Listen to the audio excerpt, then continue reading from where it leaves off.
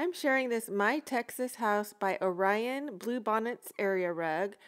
I'm replacing my other area rug I have by them. It's called Ladybird, and this time I decided to try out a new pattern. This is a low pile rug made of polypropylene. I love the pattern on these rugs and I keep them for about three years until I replace them when they get a little bit too dirty but they're pretty easy to clean and I like them because they have this gray canvas side on the bottom of them so they're not like all white. And this is actually an outdoor indoor rug, so it's pretty durable and sturdy. And I just like how it breaks up the gray in my house, but also matches my floor and my fireplace.